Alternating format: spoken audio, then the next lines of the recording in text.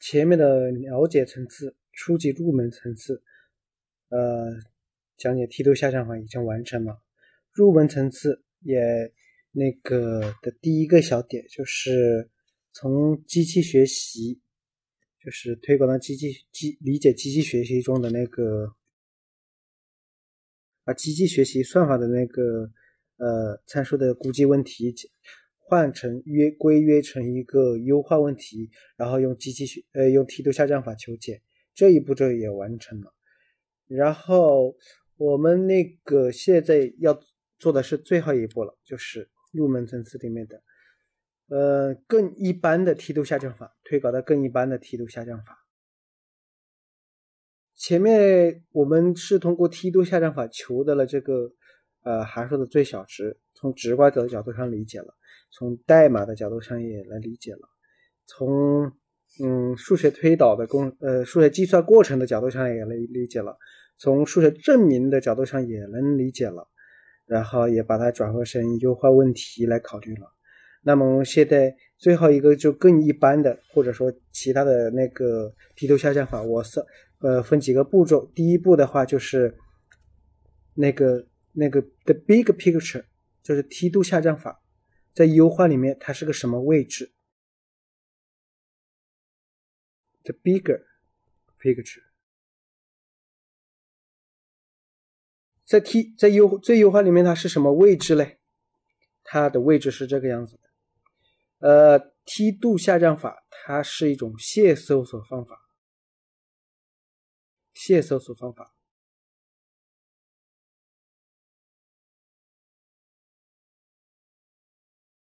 它是什么意思呢？它是给定一个当前点，就假设点能点到的这 W n，然后找下一个点，它是怎么找的？啊，是按照这个东西找的，它是等于当前点，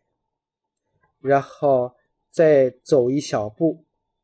那个走的那个步长叫做阿尔法学习速率乘以某个方向 d，呃，在梯度下降法里面的话，这个就等于那个。呃，它的那个梯度方向，然后走一小步，呃，这个步长，这就是线搜索法。不同的梯度下降法，不同的梯度，不同的那个梯度下降法是一大类的优化物方法，它它应用非常广泛。然后，不同的那种呃，这个有很多不同的变体，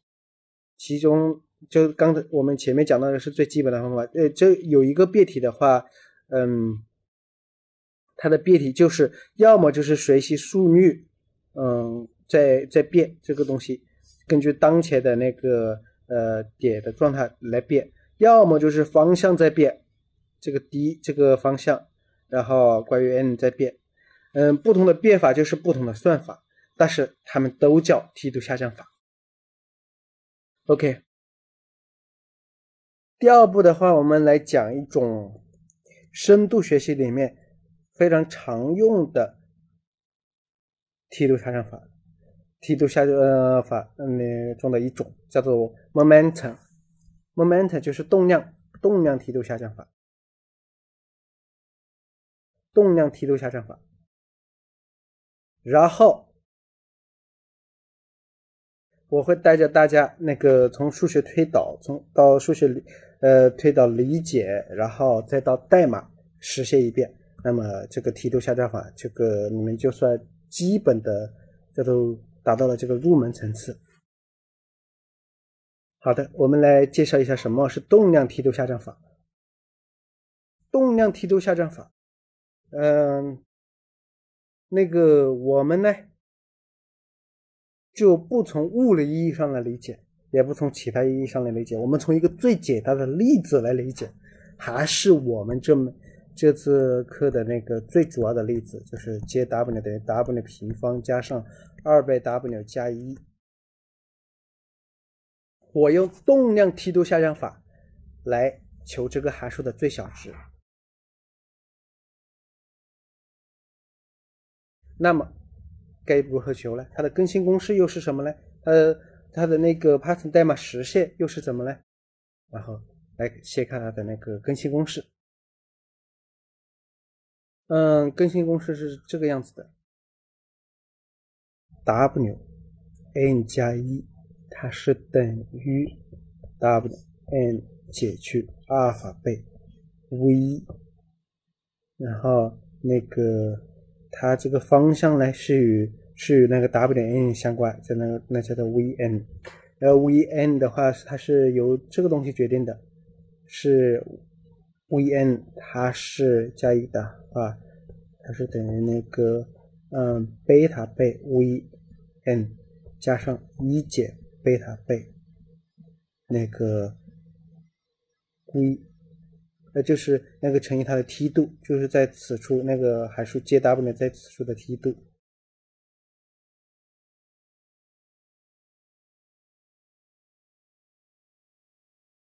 呃，这里由于是一般情况是多元的，我就把它写成梯度，而不是导数。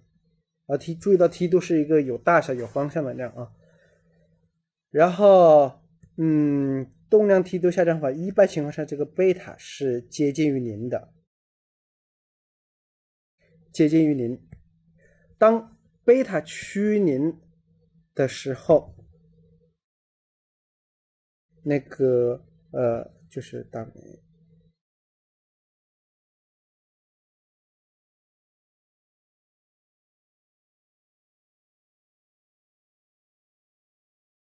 当贝塔趋于零的时候，大家看是什么意思啊？就那么就是 v n 它就是趋近于它的梯度，那么它的更新公式它就是跟梯度下降法完完全全一样，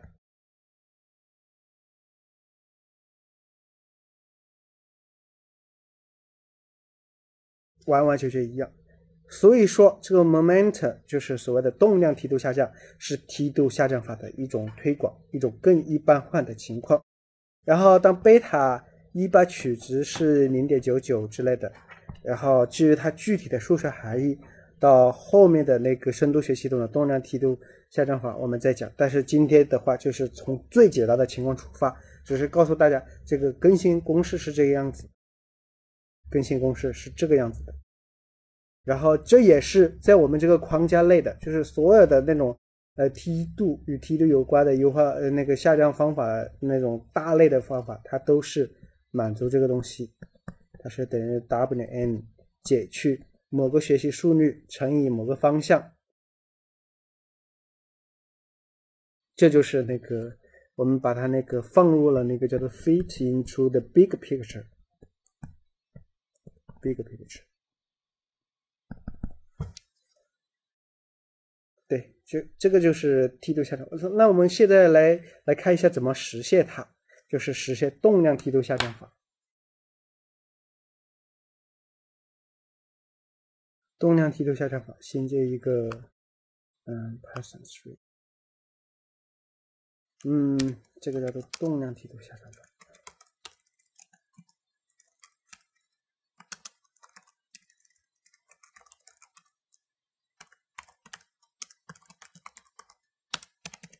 求这个这个函数的最小值，就是求我我们用动量梯度下降法求这个最开始这个函数的最小值，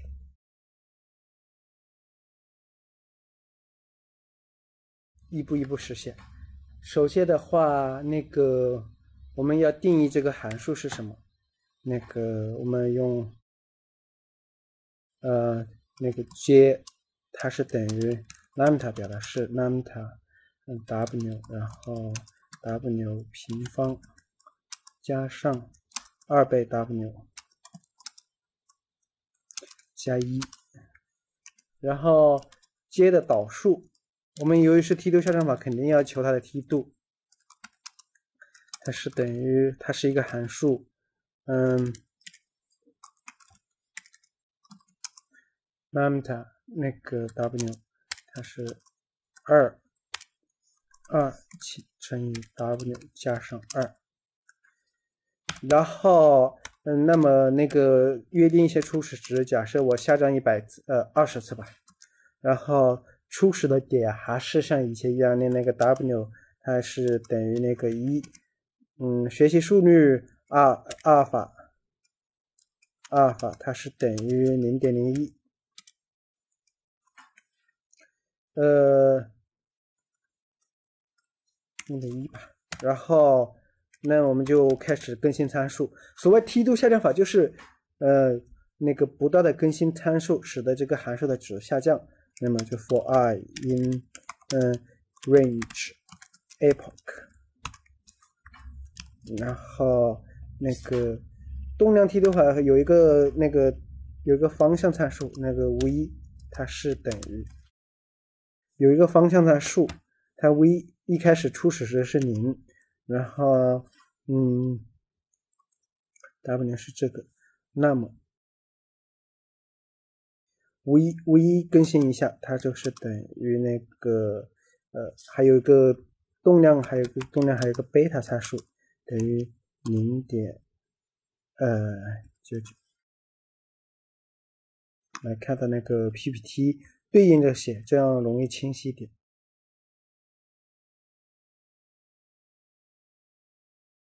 呃，b 贝塔 a 不对。贝塔趋近于零的时候，它是等于一，然后趋近于一的时候，它是这个样子。我们取贝塔等于零点九九的时候，嗯，那么大概是继续行零点九吧，取贝塔等于零点九，然后更新一下，就是它是等于贝塔乘以那个 v，然后加上一减贝塔，一减。贝塔乘以在此处的梯度就接 prime 在 w 处的那个梯度，然后再来更新那个梯度的那个参数更新，它是等于 w 减去阿尔法乘以那个 v，嗯，然后我们再来打印那个相应的相应的那个。W 的值，看看这个是个什么样子。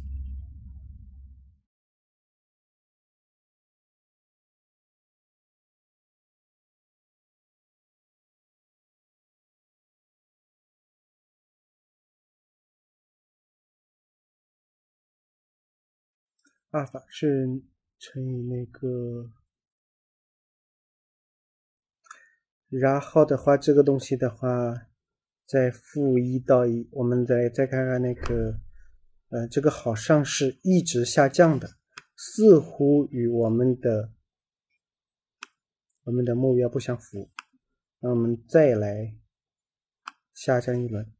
都下降一轮，看看它到底是正常的波动还是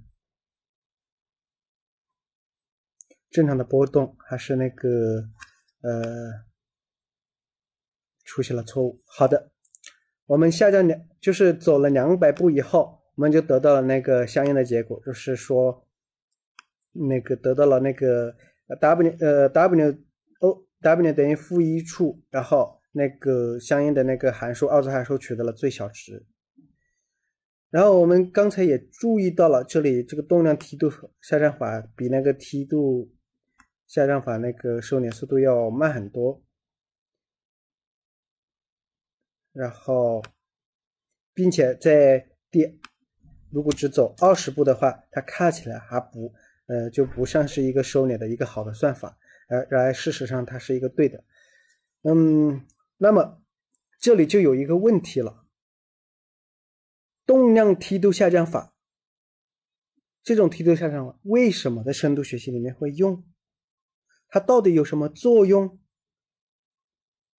这就是。后面的课程将要解答的问题，呃，这次的那个梯度下降法入门课程就到这里了。